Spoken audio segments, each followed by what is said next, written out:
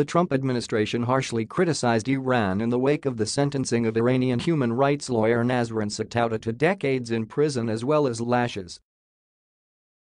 State Department spokesperson Robert Palladino said Tuesday that the U.S. condemned the sentence in the strongest possible terms, Radio Free Europe noted. We are outraged to hear reports that the Iranian regime sentenced Sotoudeh to 38 years in prison and 148 lashes, Palladino continued, describing the punishment as beyond barbaric. Sotoudeh, a longtime defender of human rights in Iran, had been charged with encouraging corruption and debauchery, colluding in propaganda against the system, and disrupting public order, according to her husband Reza Khandan, the lawyer was detained last summer and initially told she would be given a five-year prison sentence. But this week, her husband told Agence France Presse that she'd been handed down seven new verdicts. Conflicting reports have suggested different totals for the number of years Sotoudeh will be incarcerated, with 38 years being the longest reported length of time.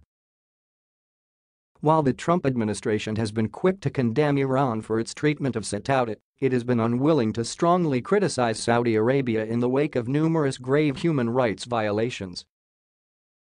On Wednesday, the BBC reported that several women's rights activists, including prominent citizens who had led the campaign to grant women the right to drive, have gone on trial in the Middle Eastern kingdom, which Trump has previously referred to as a great ally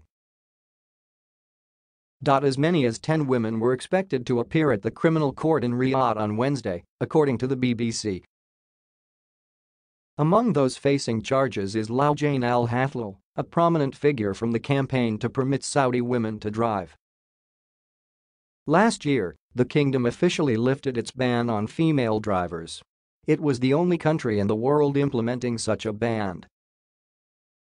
Jamal Abdi, president of the National Iranian American Council, told Newsweek that Iran's treatment of Sotoudeh and other activists was a violation of its international human rights obligations.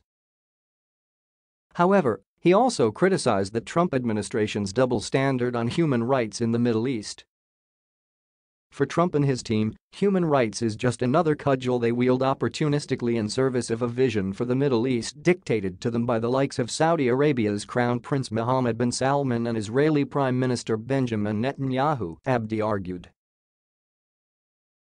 He pointed out that the U.S. actually has leverage with our allies like Saudi Arabia to enforce human rights and international norms, but it turns a blind eye and even offers cover for the most perverse violations.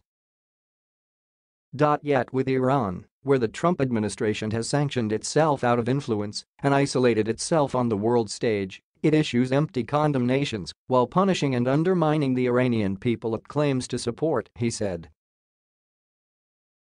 Many Democratic and Republican lawmakers in Washington have also criticized the Trump administration's continued support for Saudi Arabia's leaders, pointing to the murder of journalist and U. S. resident Jamal Khashoggi, as well as the humanitarian crisis in Yemen. A Saudi-led coalition has been waging war in Yemen, leading to the death of many civilians and a large-scale famine. Saudi Arabia is consistently ranked among the worst human rights abusers in the world and is responsible for famine cholera outbreak in Yemen, progressive Democratic Congresswoman Ilhan Omar, who represents Minnesota, wrote on Twitter Tuesday. Yet it is the top buyer of U.S.-made weapons. Why is Donald Trump siding with weapons manufacturers over human rights activists, she asked.